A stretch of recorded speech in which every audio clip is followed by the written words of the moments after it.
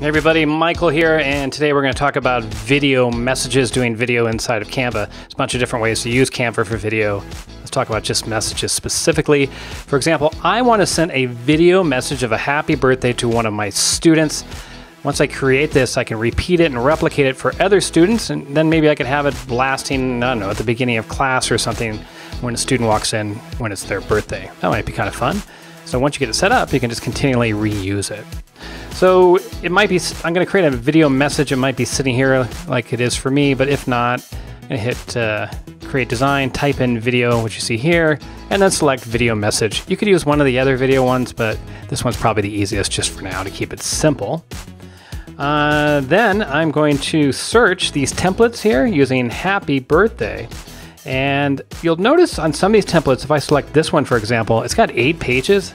It means I need to do a lot of editing. So I want to keep one that's fairly simple that really just has one page. So how about this one here? Whoop, has too many pages.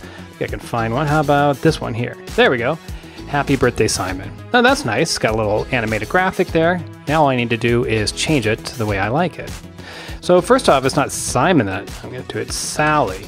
And then I'm going to grab Sally uh, you would probably upload your student, but I'm grabbing one just from the Canva artwork here because that's not really a student that I know. And I don't like the way that looks with the background, so I'm going to remove the background. So that'll take a few seconds there. Oh, that was actually pretty quick. And then to have to send her to back as soon as I select her. You can see it can be a nightmare sometimes with selections. So how about send backwards? Yeah, there she is. Now she's in the back. I can put her where I want. I can say this is from your class. And there we go. Maybe I'll stretch her out just a bit if I get to her. There she is. So she takes up more of the space. Something like that. Okay, cool. There we go.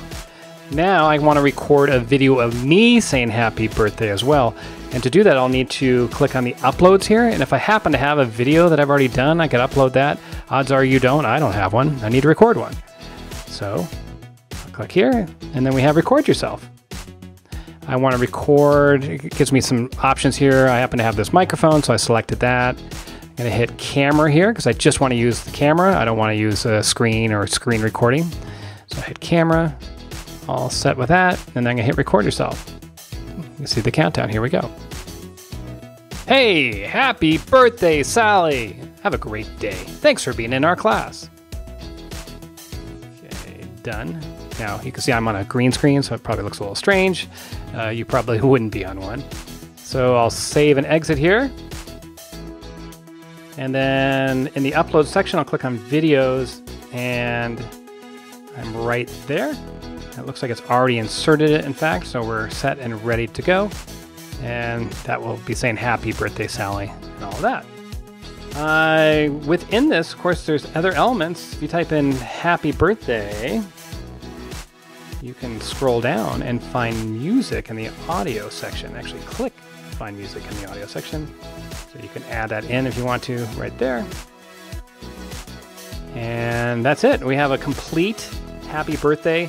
As I hit play, I don't have my speakers on now. You would hear the song, you would hear me saying happy birthday, and then you can share that. You can uh, click right here and just replay it if you want to, present it right away in class, or you can have a link that maybe you send to yourself and you click on later, or you can send that link to Sally or to her family and whatever.